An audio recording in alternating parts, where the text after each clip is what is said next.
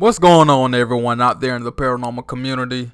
If you haven't heard by now, Zak Bagans has teamed up with the book company Dummies, and furthermore, he will be releasing his third book, Ghost Hunting for Dummies.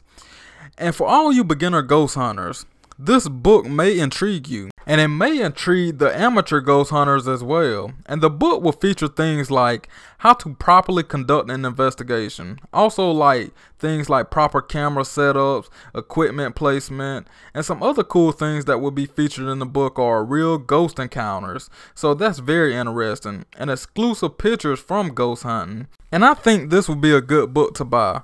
But if you already watch all these paranormal investigating shows, you pretty much know how everything works. So, my question to y'all Will you guys be buying this book? Does it interest you? Let me know down in the comment section. And if you haven't already, make sure you subscribe to my channel for more paranormal content and check out my old videos. It's a lot of interesting topics. So, be safe. Peace.